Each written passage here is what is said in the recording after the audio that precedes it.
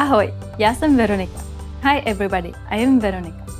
Welcome to CzechClass101.com's Česky za 3 minuty, the fastest, easiest and most fun way to learn Czech. In the last lesson, you learned the numbers from 1 to 10. Do you remember them? Here, I tell you again. Jedna, dva, tři, čtyři, pět, šest, sedm, osm, devět, deset. And now let's continue from eleven. Jedenáct, jedenáct, dvanáct, dvanáct, třináct, třináct, čtrnáct, čtrnáct, patnáct, patnáct, šestnáct, šestnáct, sedmnáct, sedmnáct, osmnáct, osmnáct, devatenáct, devatenáct. And finally we have dvacet, dvacet. Okay, now repeat after me. I will say the numbers and give you time to repeat each one. Jedenáct dvanáct,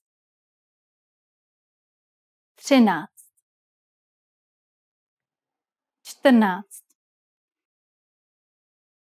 patnáct, šestnáct, sedmnáct, osmnáct, devatenáct, dvacet. These numbers may seem harder to remember, but you really just have to memorize 11, 14, 15, 19 and 20. But for 12, 13, 16, 17 and 18, you just have to add náct to the units. Let's not stop at 20. Counting to 100 is super easy. Now I'll give you the tens. Třicet, třicet, čtyřicet, čtyřicet,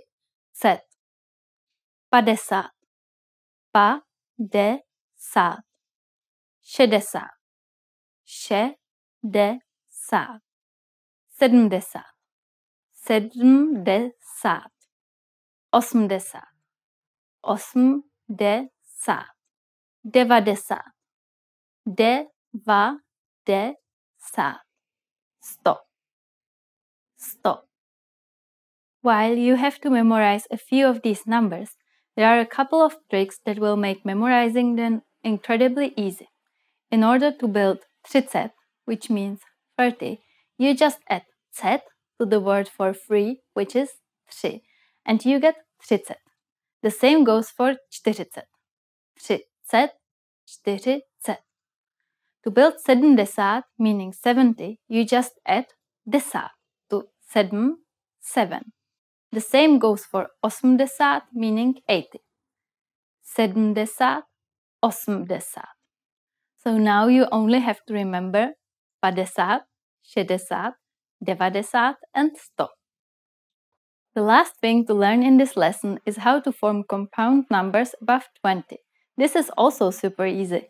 Take the tens and simply add the numbers you learned in the previous lesson. Let's try it out. How would you say 56 in Czech? Let's take it step by step. 50 is 50 and 6 is 6. So 56 is 56. 56. 56, it's done. Isn't that easy?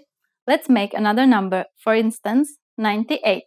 Take 90, 90 and add 8, 8. 98, 8. Now it's time for Veronika's insights. If you are talking about time in Czech, you can use the numbers we have learned in this lesson. For example, if you want to say we will meet at 16.30, you can simply say setkáme se v 16.30. Setkáme se means we will meet. Let's try another one. We will meet at 1945.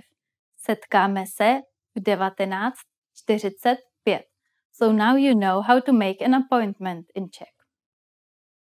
After only two lessons, you are now able to count to 100 in Czech.